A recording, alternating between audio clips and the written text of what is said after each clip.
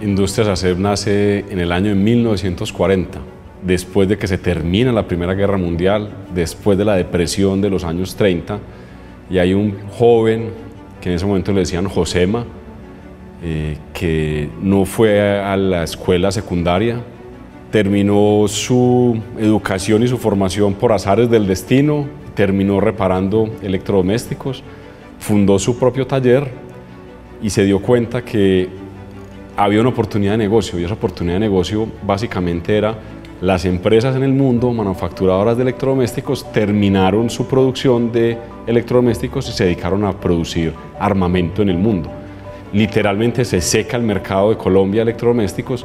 Don José, como ya llevaba reparando un poco de años electrodomésticos, se dio cuenta de lo bueno que tenían las marcas que llegaban al país, todas eran importadas, inventa un primer electrodoméstico, es una pequeña parrilla eléctrica, hace los primeros eh, prototipos, vende los primeros productos y empieza a crear una marca que hoy es la marca líder de electrodomésticos en Colombia, cómo empieza la compañía eh, en un pequeño taller de 15 metros y hoy estamos en un parque industrial de más de 300 mil metros cuadrados. Una compañía que hace 76 años compite con el mundo, pero cada vez más esa competencia es más aguerrida, es más frontal, somos más o menos 4.000 empleados, sino que tenemos un municipio, el municipio de Copacabana son más o menos unas 70, 75 mil personas y más o menos el 70% del impuesto de industria y comercio de Copacabana lo genera ACEP. Es claro que nuestras raíces son Colombia, pero estamos metidos y estamos eh, todos los días pensando qué es lo que está pasando en el mundo. Hoy estamos explorando opciones de trabajo en el Silicon Valley para poder entender ese ACEP digital, qué va a pasar con el mundo digital y cómo nosotros debemos seguir honrando la historia y construyendo ese futuro. La compañía ha tenido los desafíos que ha tenido Colombia en, la historia, en el tiempo. O sea, todas las, digamos que los momentos de bonanza del país han sido muy buenos para la compañía y los momentos de crisis de la economía de Colombia pues se han vivido y se han sentido, pero esta organización tiene esa resiliencia, esa capacidad de volverse a reinventar. ASEB no compite con empresas, em, compite con países. O sea, ASEB está compitiendo con el mundo. Esa apertura económica obligó a ASEB a reinventarse, a ser mucho más eficiente, a ser mucho más activo.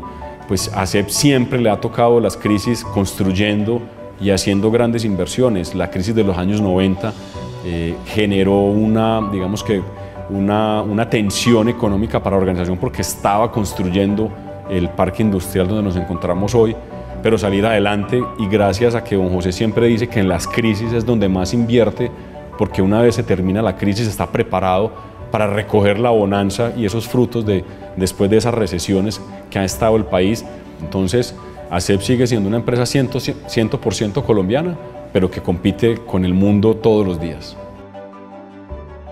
La mega era duplicar el tamaño de facturación de la compañía, o sea, pasar de una facturación que estaba cercana a los 400 mil millones de pesos a un billón de pesos. Vamos por buen camino, pero también necesitamos que haya buen viento para que sigamos navegando y llegar a ese billón de pesos. ¿Y por qué no soñar con ese primer billón de dólares de ACEP? Conquistar ese mercado del centro del país también fue un trabajo titánico cómo llegarle con nuestra marca a esos clientes, a esos distribuidores. En ese momento acepto una decisión y compra una marca muy importante en la zona centro del país, es la marca Icasa. Icasa es propiedad de Industrias ACEP.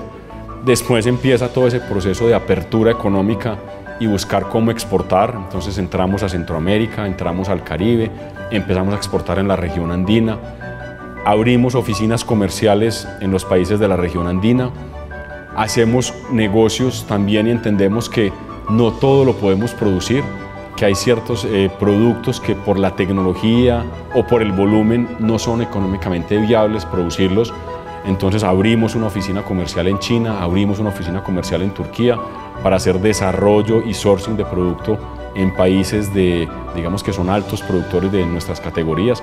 Complementamos ese, ese portafolio.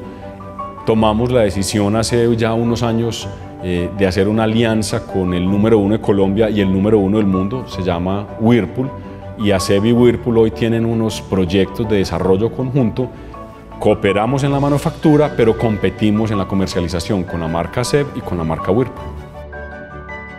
Yo creo que tenemos un síndrome en Colombia que padecemos de un pesimismo excesivo y ese pesimismo excesivo no la creemos y cuando uno se cree que está mal, pues obviamente se pone mal, pero cuando lo medimos relativamente y nos comparamos contra otros países de la región, estamos bien. Si yo no tengo una nevera, no estoy consumiendo proteína, porque es que la proteína yo la tengo que refrigerar. En Colombia solamente el 10 o el 15% de las personas se bañan con agua caliente una ciudad como Bogotá, que en una mañana fría puede estar en 5 o 7 grados, eso es un tema de salud pública.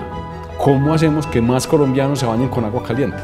los electrodomésticos van de la mano del desarrollo de un país. Cuando un país cocina con leña, es un país subdesarrollado.